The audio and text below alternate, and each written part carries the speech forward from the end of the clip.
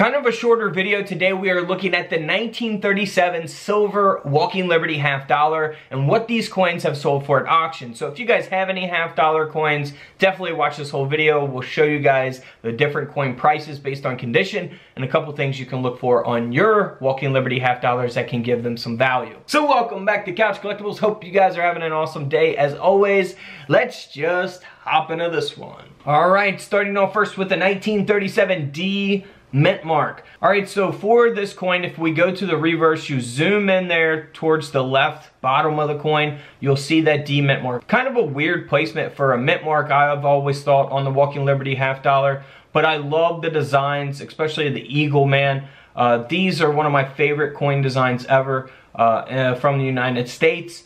Uh, but this is 1937 D mint mark. It's a very, very high grade. The coin is in excellent condition, graded by NGC at a mint state 68. That is where all the value is from. That's why the coin sold for $21,000 at auction.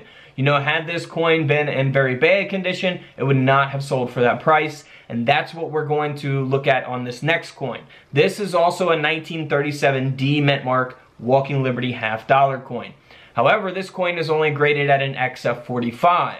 So we go from a 68 grade to a 45, and this coin only sold for around $40 at auction big difference in values based on the condition. So for the Mint State 68 that sold for 21,000, if there's only one or two of those that exist in that grade, that is what's going uh, to bring up the demand for the coin and of course the value of the coin. You know, there's tons of these at an XF45, not rare to have in this condition. Now this next coin here is a mint error. This is super rare here. 1937 Walking Liberty half dollar graded by PCGS at an AU58.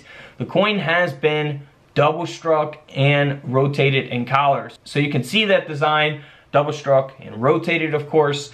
This coin ended up selling for $575 at auction.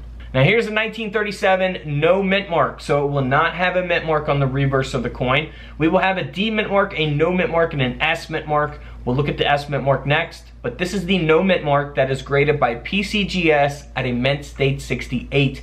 Again, all of the value is in the grade, the condition itself, and that's why this coin sold for $35,000 at auction.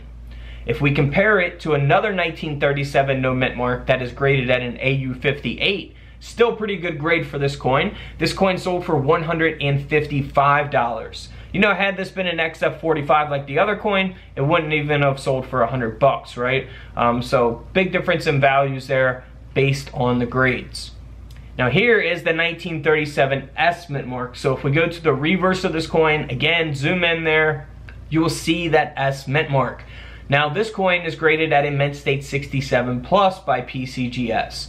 This coin ended up selling for $19,000.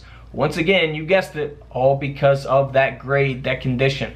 And again, if we compare it to another 1937S half dollar, this coin graded by NGC at an AU58 sold for around $250.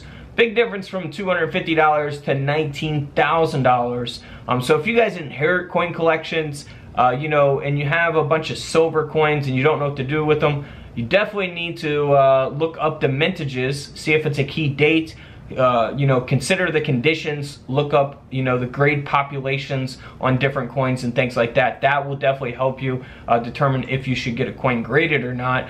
Uh, but man, big difference there, 250 to 19,000. Now for the 1937S, we also have a little uh, mint error here. This is a minor lamination. You can see that here on the obverse of the coin as we zoom in on the head there.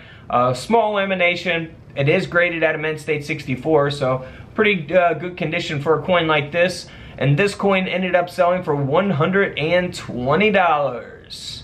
So feel free to check out my other Walking Liberty half dollar coin videos, my penny videos, my more modern coin videos, coins that you can look for in your everyday pocket change uh, that are worth money. Alright guys, don't forget to subscribe in the middle. Feel free to check out those videos to the left of me. And until tomorrow, I'll see you guys in the comment section below. This is Couch Collectibles and this is where I disappear.